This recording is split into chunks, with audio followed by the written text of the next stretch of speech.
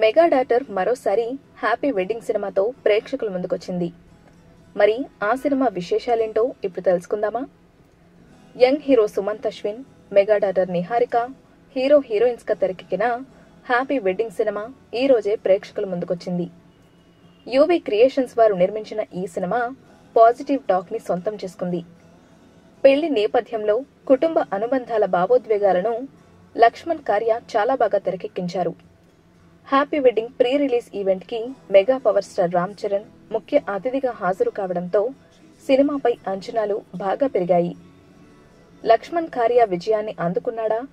UV creations విజయ పరంపర కొనసాగిందా అనే విషయాల్లోకి వస్తే ఓవర్సీస్ నుంచి వచ్చిన రిపోర్ట్స్ ప్రకారం హ్యాపీ వెడ్డింగ్ సినిమా బాగుందని తెలుస్తోంది.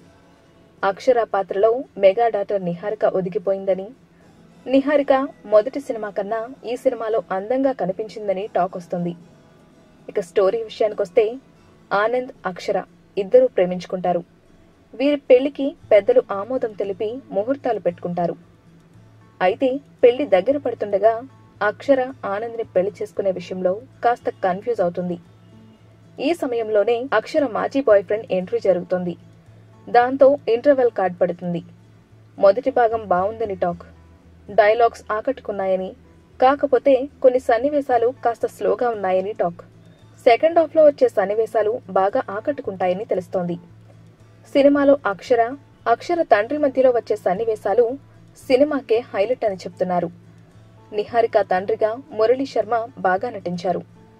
ఫైనల్గా గుడ్ ఫీల్ మూవీ అని చెప్పొచ్చు. మూవీ క్రిటిక్స్ ఈ సినిమాకి రేటింగ్ త్రీ ఇచ్చారు. అయితే మెగాడాటర్ నిహారికకి ఒక హిట్ దక్కినట్టే అని అందరూ భావిస్తున్నారు. ఈ వీడియో మీకు నచ్చితే లైక్ చేయండి. మీ అభిప్రాయం మాతో పంచుకోవడానికి కామెంట్ చేయండి. అందరికీ రీచ్ అయ్యేలా షేర్ చేయండి. కానీ మా ఛానల్ని సబ్స్క్రైబ్ చేసుకోవడం మాత్రం మర్చిపోకండి.